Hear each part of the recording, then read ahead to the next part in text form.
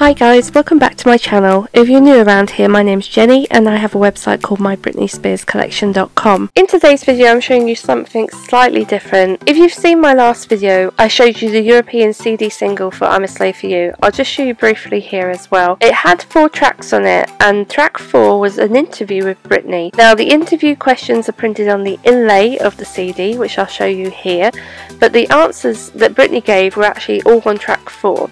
So if you listen to track 4 on its own without the CD, it doesn't make any sense because she's just answering questions that you never get to hear. So what I've done in this video is I'm actually going to write down the questions for you here so you can see them and then you'll hear Britney's answer to each question. Just before I go into the actual interview part, I'll just remind you if you like seeing items like this out of my collection to subscribe and hit the bell. It will give you a notification when my next video comes out. And also I'm available on Patreon so if you want to help out my collection in any way, I've got two starter tiers on there and I really do appreciate everybody who becomes a patron or even if you just subscribe any interaction with my channel is greatly appreciated. So sit back and enjoy the interview questions from this I'm a Slave for You CD. Enjoy!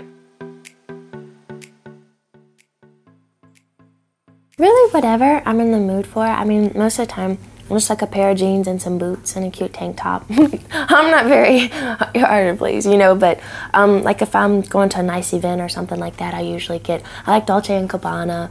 Um, I like this girl named Patricia Fields. She does a lot of stuff for Sex in the City too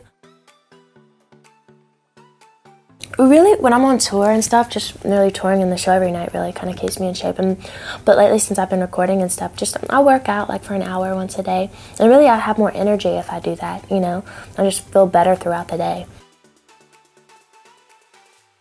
Oh, definitely. I love working out. I really do. Yeah. Actually, when I was younger and I was like 12 years old, I um, I ran the aerobics class at the top of my dad's gym when I was like 12.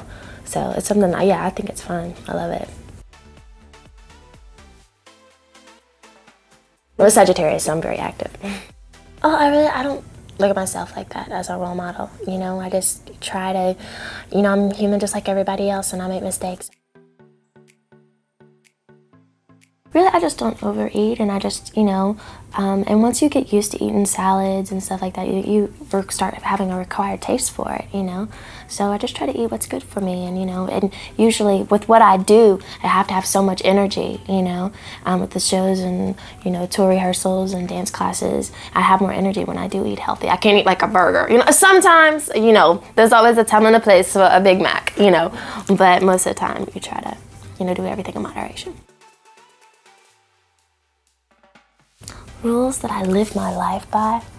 Um, really, um, just be true to yourself and never doubt yourself.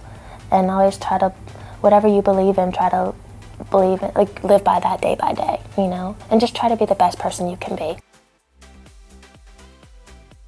It went very well. I liked it. It was it, it, was different. It was very different from what I was used to. I'm used to being on tour and you know doing being really confident on stage, and then all of a sudden I'm doing a movie. I'm like, oh, what am I doing? Can I do this? You know.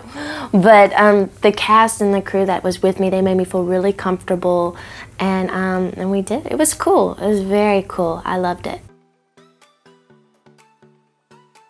I have to say, like the first six months, everyone's like, "Oh, we're gonna do a movie," you know, in like six months, and um, you know, get ready. And I was like, "Okay, whatever." Then two weeks before the movie, I was like, "What? I'm I'm like the lead in this movie we're about to do. What am I thinking?" You know. But I read the script and I got an acting coach with me, and then I got on the um, set and I was like, "Oh, this is it." oh, this isn't this is a breeze. This is totally cool, you know. So it was a lot of fun. It it ended up being a blast. Uh, you know what? She definitely has the talent to do this, but I definitely I want her to be a kid and experience kid things right now. And in the future, if she still has that love for that, then definitely go for it, you know. But just watch out when she comes because she is going to take over the world. she is Miss Thing and she knows it, so it's kind of scary. Yeah, yeah, she sings all the time. Like we had executive people over at the house the other day, and um, from the record label, and they were all having dinner, and she brings them all to the bathroom and sings for them. I'm like Jamie Lynn. Like I would never do that when I was younger. I mean, I was confident, but never that confident. So, she definitely loves the spotlight.